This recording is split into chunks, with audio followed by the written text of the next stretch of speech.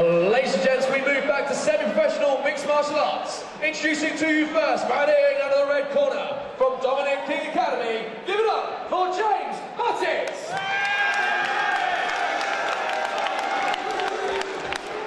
And his opponent standing across the cage in the blue corner, from Premier Mixed Martial Arts, give it up for David Panfil!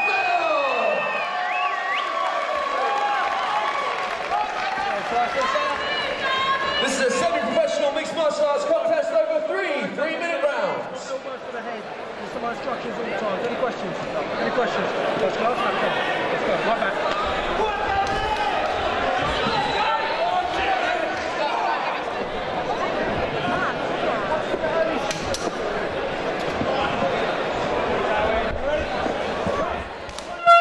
All right, guys, here we go with our middleweight semi-professional debut from both guys.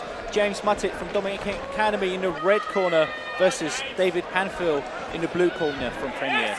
And Muttit coming forward may look for the slam, but well taken down to the ground there by David Panfil from Premier. Premier, a London club, good fighters coming out of there. We've got a couple of them on the bill tonight.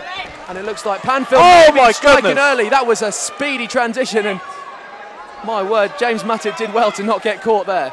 Yeah, David uh, Panfil all over the, uh, uh, sorry, Muttit here. He is uh, really slick with his transitions, going from uh, armbar, guillotine to back attacks. He is uh, very, obviously very versed uh, in the submission grappling. Yeah, this kid has fast hands and fast transitions as well. May look for a triangle here. Yeah, let's see what he and he's, he's, he's half got it. He's half got it. Just got to pull the, pull the head in. He's trying to isolate the right hand of uh, James, but he's doing a really good job of controlling James's posture here and uh, defending the uh, ground and pound. James just transitioned into half guard and then looking for mount, and he has it. Yeah, he's got it. A bit of a schoolboy error from David Panfil here. Let's see what he's got in the way of escapes. He cannot do this. He needs to put his hands on, on his opponent's hips and escape here. And Panfil will look to do some ground and pound here. That is, if, Pan, if Panfil lets him, he's holding on for dear life in that position. Yeah, he certainly is. He's got lots of time left in this round here. It's a free freeze.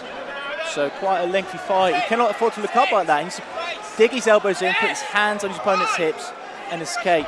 He's always trying to bridge here, but this is not going to be enough. James Muttit standing tall on top, not allowing a transition, but good work there from David Panfil. Once again, commentator's curse comes back in the face of fight. Lovely knee there from Panfil just to see two. Oh! Oh my goodness! Two face kicks from David Panfil straight to the jaw of James Muttit. And another one. Muttit needs to be careful here. Those two didn't affect him too much, but he eats too many of those. And He's looking for that guillotine again. she wrote. He snapped his opponent. Oh my goodness, can't believe it. I think he might have it now.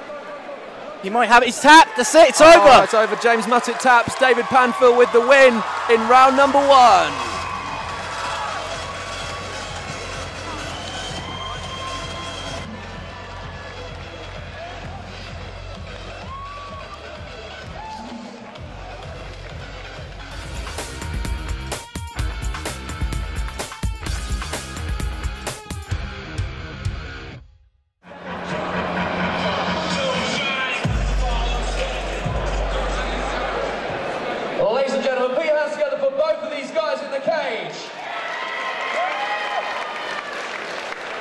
But ladies and gentlemen, we do have a winner by a guillotine in round number one. Put your hands together from the blue corner, David Panfil.